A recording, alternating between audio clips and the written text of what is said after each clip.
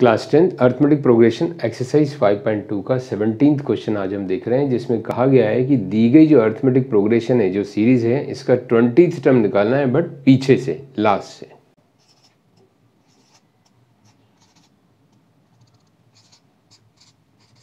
सो lesson student जो arithmetic progression ये series दी गई है, पहले हम इसको उल्टा करके लिख देते हैं। तो ये क्या होगा? 253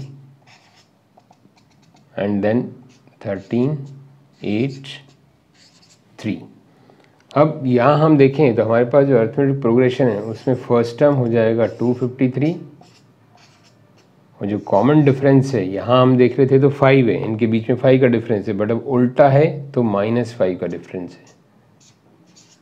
क्योंकि succeeding minus preceding succeeding minus preceding तो minus five now using the formula a n twenty term निकालना है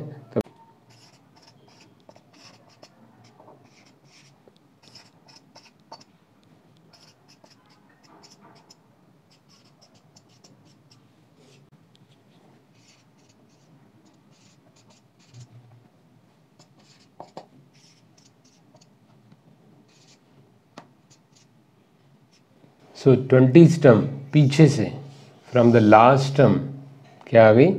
158 so this is our answer